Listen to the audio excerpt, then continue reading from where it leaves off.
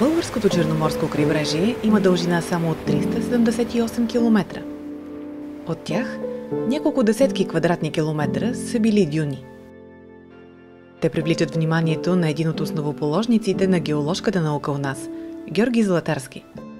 Покрай Черноморския бряг, на юг от Камчия, до Атлиман на турската граница, се издига цяла варига от дюни, т.е. малки пясъчни могили, съставени от ситни пясъци, малко или много подвижни.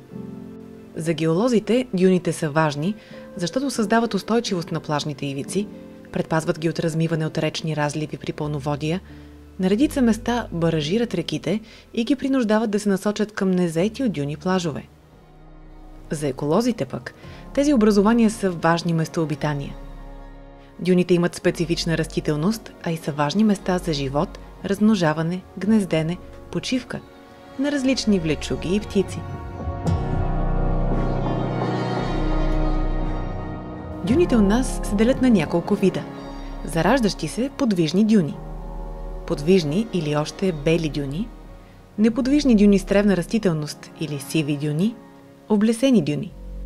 Важно е да съхраним всички тях заедно с пониженията между дюните.